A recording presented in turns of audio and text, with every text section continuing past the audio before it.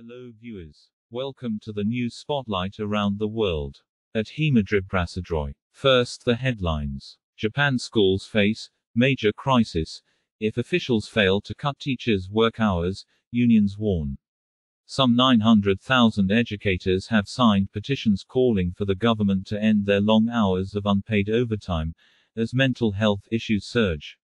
According to a study, long hours are the most frequently cited reason for teachers handing in their resignations at primary, junior high, and senior high schools.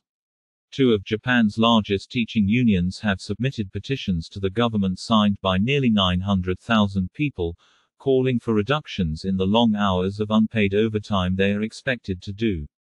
The Japan Teachers Union Nikkyoso, on Wednesday sent a petition with 698,091 names to the Ministry of Education, a month after the All Japan Teachers Union Zenkyo, filed a similar document with some 180,000 signatures calling for the government to establish a firm plan on how teachers' hours can be cut.